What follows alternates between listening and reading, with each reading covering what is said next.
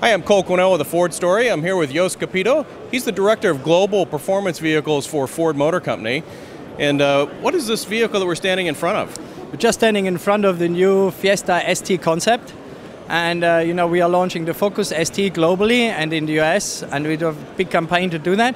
And this is the proposed small brother of the Focus ST, being the Fiesta ST concept. So far, we see the, how the reactions are here and, and globally to that concept car, and if the reaction is good, we'll be in the position to bring it in production.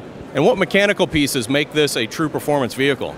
It's very much the engine, of course, as the heart of the vehicle. It's the EcoBoost 1.6 with 180 horsepower. So that is really great performance for a small car. And then, of course, the engine upgrades, chassis upgrades, everything that we know from the Focus ST as well.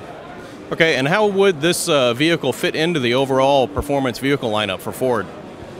Yep, the Fiesta ST has been very successful in the past in Europe, where we had the Fiesta and the Focus lineup.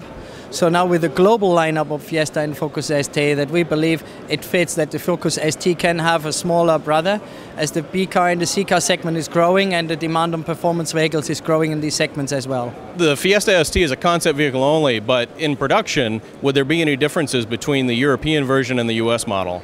On the technical side, they would be identical, the same as with the Focus. The Focus ST is completely identical on all the damper settings, wheels, tires, engine, power, interior, they are all identical.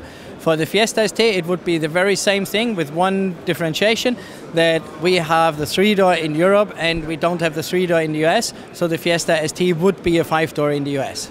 Thank you very much, Jost. For more information from the Frankfurt Auto Show, please visit thefordstory.com.